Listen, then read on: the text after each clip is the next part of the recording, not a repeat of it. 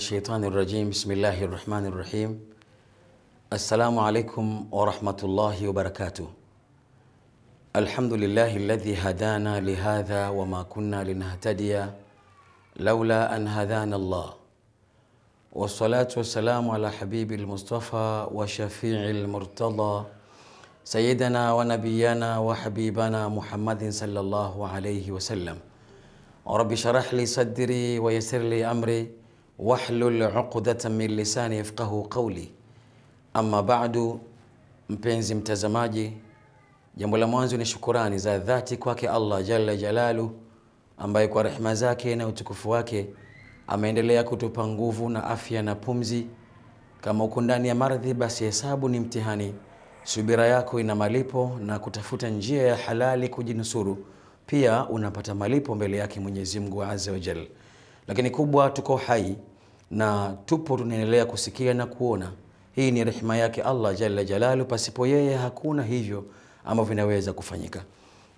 Niwakaribishe basi kwa dakika chache hizi za leo tuzungumze walau kwa muktasar. Kuna mtu ameniuliza e, wakati mambo haya ya kutemia mti mkuu, kuna mtu mmoja yuko Norway aliniuliza akasema, nimefanya maarifa, ndugu yangu amechukua hiyo dawa amenitumia ya mti mkuu, lakini ilipoingia dawa hii e, jambo la kwanza familia yangu walipandisha mashetani, watoto mabinti watatu kasoro mmoja, lakini wavulana hakuna aliyepandisha majini. Lakini pia nilipokea simu kama hiyo hiyo katika nchi za Kiarabu, Saudia. E, familia moja wakati inatumia mti huo, mti mkuu, basi e, katika wao mmojawapo nyumba yake lilarukararuka mabomba ya maji, paipu za maji zilipasuka karibuni zote ya chini na juu ghorofani. Lakini ni nini basi? Nieleze tu kwamba ndugu zangu, e, kwa nini yule mama watoto wa, mabinti watatu wamepandisha majini, lakini mmoja tu kanusurika, lakini wavulana hata mmoja hakuna. Akauliza, na hii ni kwa nini Sheikh? Mbona watu wengi wana wanawake ndio wanapandisha majini, wanaume hawapandishi majini mara kwa mara, kitu gani hasa?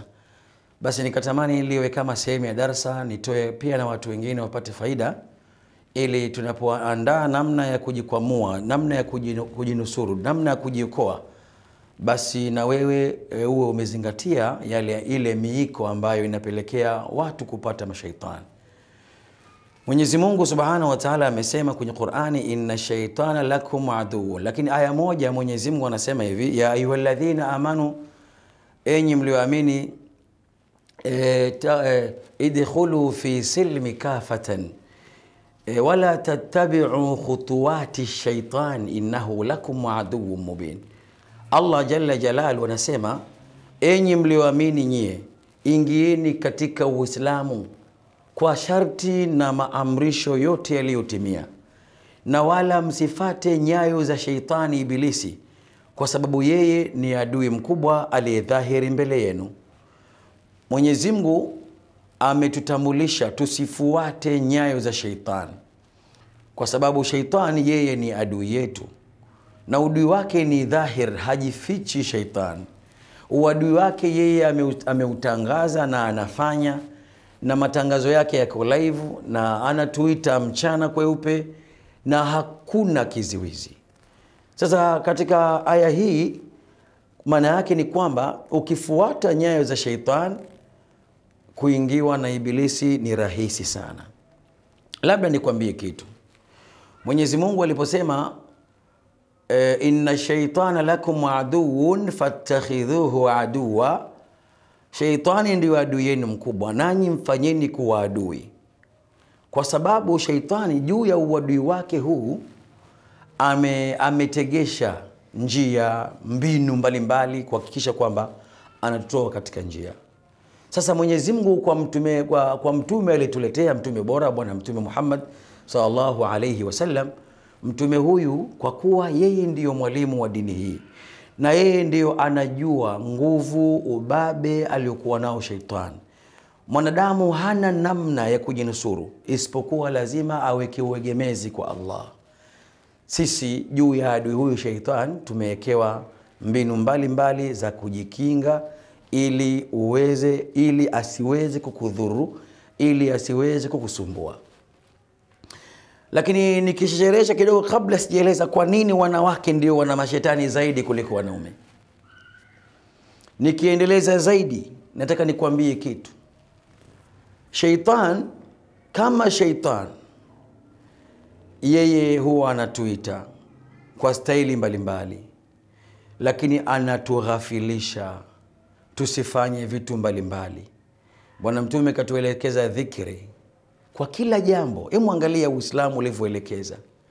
Mwislamu anapokula kuna dhikri bismillahi tawaka bismillahi waala barakatillah au bismillahi rahmani rahim mwislamu anapomaliza kula anashukuru alhamdulillahi rabilalamin au alhamdulillahi ladhi yatamana wasakana wajalana min hivo lakini Muislamu anapotoka bismillahi tawakkaltu lallahi wala haula wala quwata illa billahi allahu akbar mwislamu anapomwingilia mkewe lazima pia afanye dhikri eh?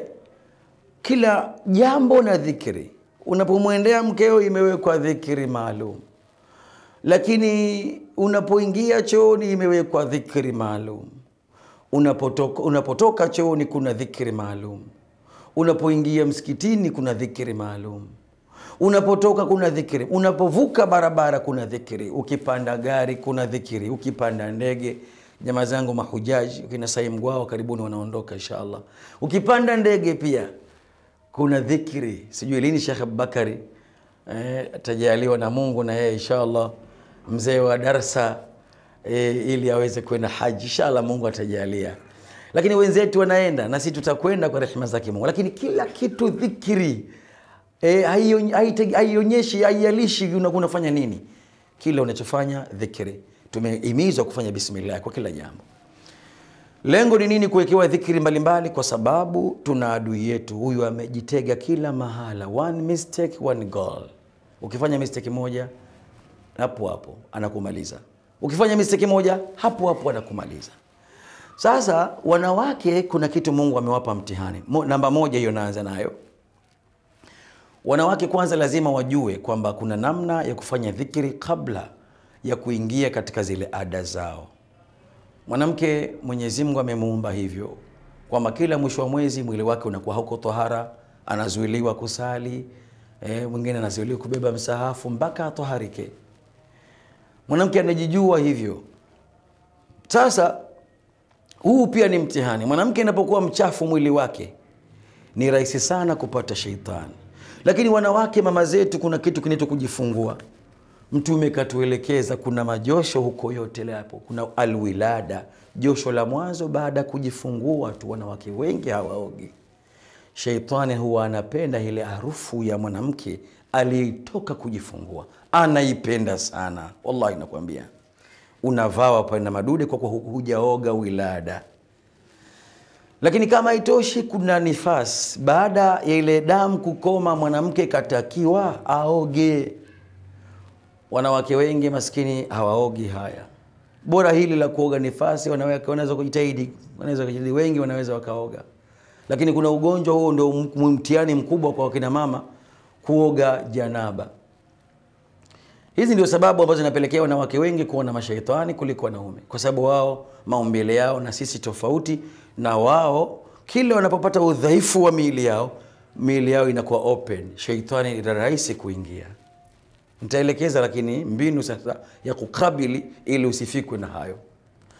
Lakini lingine ni janaba. Wanawake wengi hawapendi kuoga janaba. Na wengine huoga lakini sio kwamba wanaoga wanazuga lazima tuambieni ukweli ndugu zangu hii ni dini mama zangu ili mjini usuru na hayo mabalaa.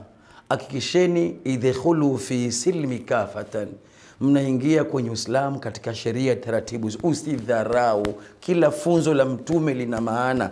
Ndio maana allah mwenyewe kasema wama atakum rasulu fakhudhuhu wama nahakum anhu fantahu.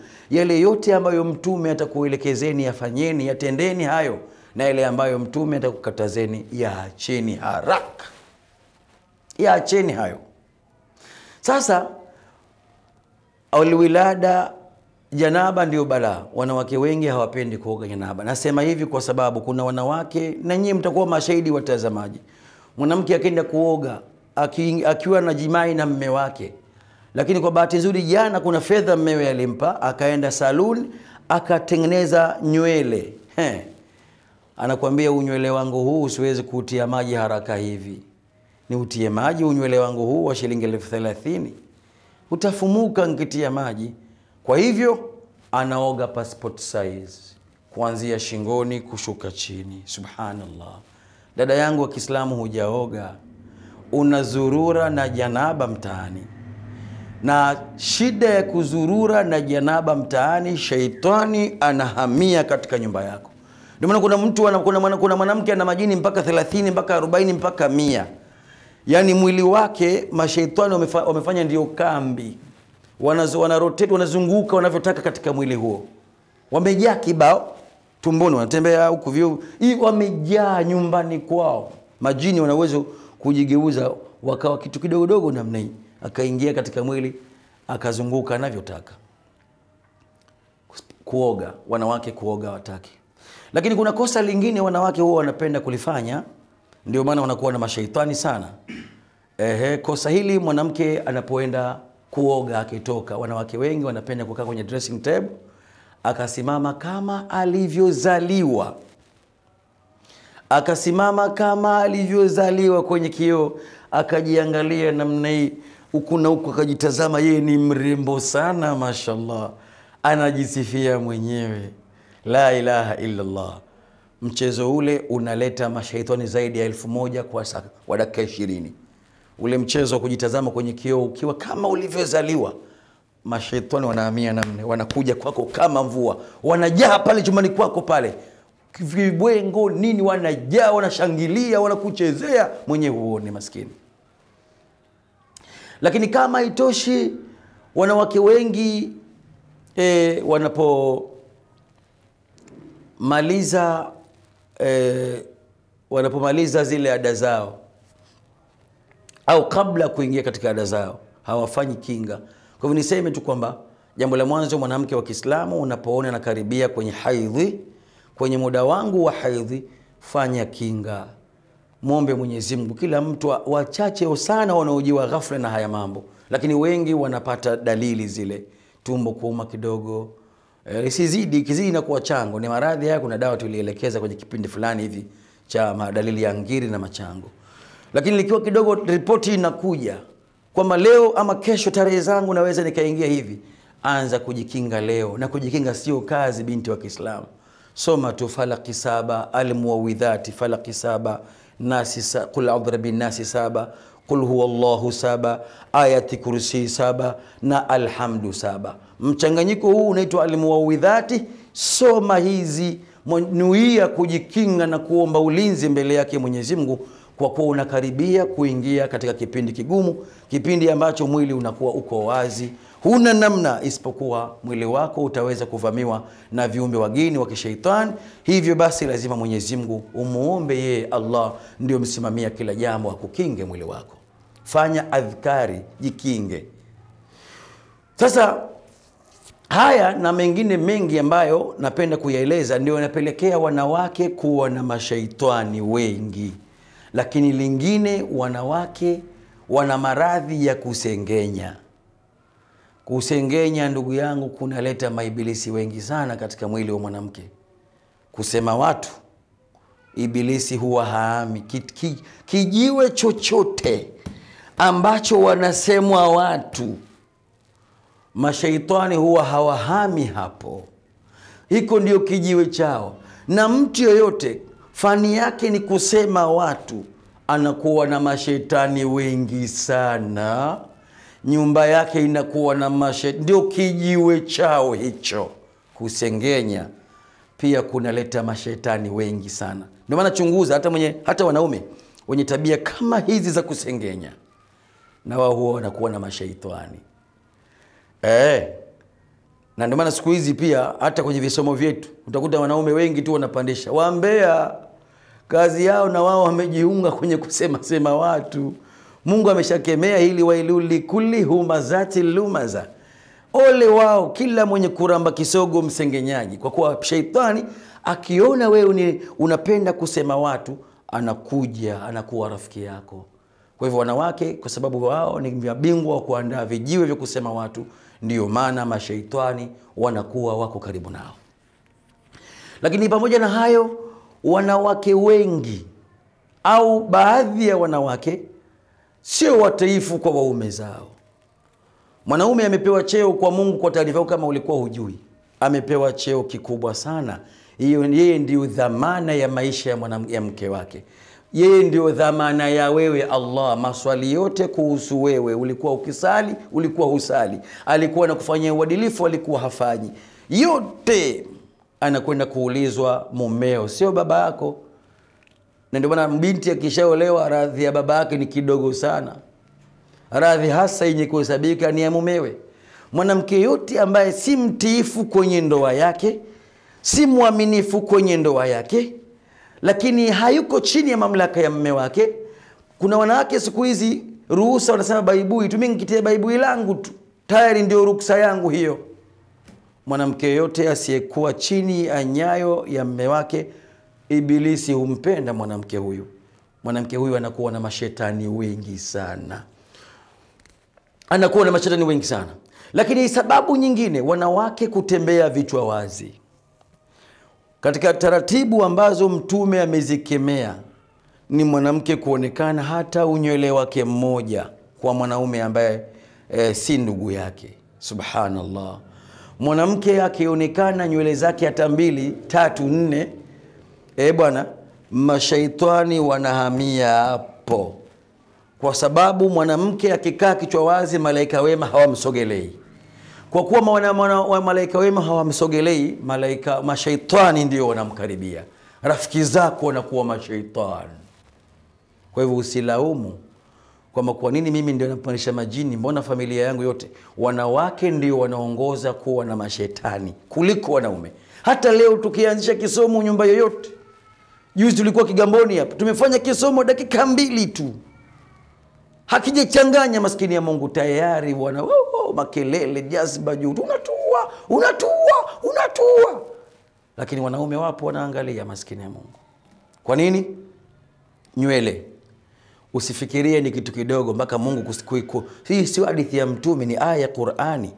Wa, e, sema muhammadi waambie wake zako na wanawake wa waislamu eh, wafunike shungi wateremshe shungi zao leo mwanamke unatembea kichwa wazi unakusanya mashaitani toka kwako mpaka ulikoenda na umerudi nao vikundi makundi ya mashaitani. Kwa hivyo ziko namna nyingi za kujikusanyia pointi kwa mashetani ukawa wengi. Kila unavyozidi kukosea dada yangu kila unavyozidi kukingiuka masharti ya dini yako ya kiislamu basi unajikusanyia mashaitani. Mashetani wanapenda watu wenye makucha marefu kuna wanawake wanapenda kuacha makucha marefu balaa alafu wakayatia rangi kama nyumba ya bluu kijani nyekundu. Ile mikucha shetani anasikia raha. Tena unasaidia kumkuna. Kila ukitembea mwenyewe unaona una, unarusha mkono namna hii. Eh, unarusha mkono. Kumbe unamsaidia kumkuna sheitani katika mgongo wake uliopauka. Makucha marefu. Wanawake wanapenda kufuga makucha haipo. Mamna katika dini yetu ya kiislamu. Makucha. Siku hizi kuna staili mpya mpaka makopi namna mtu kama shetani kweli haki ya mungu. Mtu kaeka makopi ametoka namna hii. Akikutazama akicheza nawe mpaka anakutisha shekhe mpaka anakutisha. Sheitani kabisa. Ka, yani kauvaa ule usheitani anatembea nao.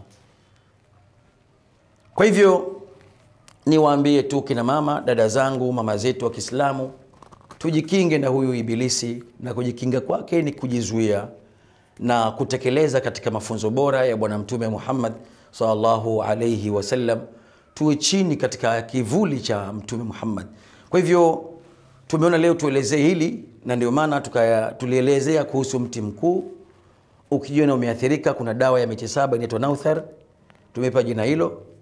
Dawa hii ya miti saba kwa rehema zake mwenyezi mungu utakuwa unatafuna kitunguu thaumu wakati wa kulala alafu vipunje vitatu unatafuna alafu unachukua ma, nini hiyo ma, dawa miti saba unachoma, ukijaliwa kupata mafuta unapakaa katika mwili wako, alafu unachoma dawa hii. Mungu atakurehemu huku ukifanya istighfari nyingi, astaghfirullah wala mara mia, moja alafu unalala zako astaghfirullah astaghfirullah astaghfirullah. Tayari umeshakosea, umevamiwa wewe. Namna ya kuwatoa mashaitani sio lazima uende kwa mashehe tu utasomewa wewe mpaka utakoma. Hapana, ziko njia nyingi. Miongoni mwa hizo ni kutubu dhambi ya kutembea kichwa wazi, ni kutubu dhambi ya wewe kufuga makucha, ni kutubu dhambi ya kufuga makope, ni kutubu dhambi ya kutokaa chini ya nyayo za mme wako, ni kutubu dhambi ya, ya kuacha sala, ni kutubu kila aina ya makosa. Utubu, ufanye istighfar, astaghfirullah wala mara mia moja choma. Hii ni rahisi sana kufukuza mashaitani, watahama kwenye kiwiliwili chako mmoja baada ya nyingine. Umejaliwa na mti mkuu unayo, pia unachukua kiasi robo kijiko na we, dawa ya miti saba nusu kijiko, unachanganya pamoja, tia kwenye moto, unafanya istighfari, unatafuna punje tatu za kitunguu thaumu siku saba, unatafuna punje tatu za kitunguu thaumu, alafu unalala bihaulillahi taala, kwa rehema zake Mwenyezi Mungu. Ndani ya siku saba hizo utanipigia simu uniambie umeona nini. Dawa ya miti saba tumeweka miti saba ile ambayo baadhi yake imesifiwa kwenye Qur'ani, dawa ya unga, lakini hii tumeiandaa kwa ajili ya kuchoma tu kwa nia ya mambo mbalimbali ambayo tunaweza tukaelekezana kwa rehema zake Mwenyezi Mungu. Tunaweza kufundishana vingine, viko vingi tumevielezea humo, dawa ya miti saba. Lakini miongoni mwa hayo, ndani ya miti hiyo kuna al-ausaji, kuna mti e, unaitwa mkunazi, kuna mti ndani yake unaitwa mbaazi, kuna mti ndani yake unaitwa mkilika, kuna mti ndani yake e, unaitwa msekela. Kuna iko miti saba, mingine mita, minne mitano imetajwa kwenye Qur'ani, miwili haimo. Miti hiyo ina uadui na mashaitani. Mashaitani huwa akisikia harufu yake, hali ya kuwa mitafuna kitunguu thomu, wanahama kao hilo na hutafuta kao lingine. Hii ni njia mojawapo ya kuwafukuza mashetani. Hata wewe mwenyewe nyumbani unaweza ukafanya insha Allah kupitia dawa ya miti saba Nauthar pamoja na mti mkuu ukijaliwa, na ukiwa na nguvu na mafuta yake pia mti mkuu utafurahi. Tutawasaidia mabinti zetu inshallah majumbani, mtasaidia wake zenu majumbani. Wameshakosea, washatembea vichwa wazi, sasa wanatubu, wanataka msaada kwa Allah, waondokewe na haya. Basi njia ndio hizi tunazielekeza, bila longolongo longo, bila masharti magumu, bila hivi, lakini kubwa turudi kwenye ibada ya sala. Mama wa Kiislamu, rudi kwenye sala, sali mamangu wa Kiislamu, inshallah kheri kubwa utaziona inshallah. Basi kwa leo acha niishie hapa. Nilikuwa naeleza tu kwa nini wanawake wanapandisha mashetani sana zaidi. Wanawake mia moja wanaweza wakapandisha wanawake mpaka sitini, arobaini au mpaka sabini, thelathini peke yao ndio wamenusurika. Yote kwa yote ni kwa sababu ya baadhi ya vitu ambavyo Mungu ametia kama mtihani kwetu, lakini wenyewe hamjui. Naomba chukua tahadhari, jikinge kabla ya haidhi yako lakini pia jikinge kile unapofanya jambo lako. Acha kusengenya, kaa chini ya kivuli cha mme wako, vitu vingi vitakuwa sawa. Majini watahama. Tumia dawa hii ya miti saba na kitunguu swaumu. Kitunguu swaumu nitapanga siku nije kueleza chenyewe kama chenyewe kina kinafanya kina kazi kubwa katika kufukuza mashaitani. Tafuna, lala, unanuka kitunguu swaumu ndio ulale, lakini jichomee mti huo, miti saba lakini kama unayo mafuta pia mti mkuu umejaliwa, jipakae mwilini. Inshallah Mungu atakurehemu. Wallahu waliyu salihin. Wassalamu wa, alaikum wa rahmatullahi wa barakatuh.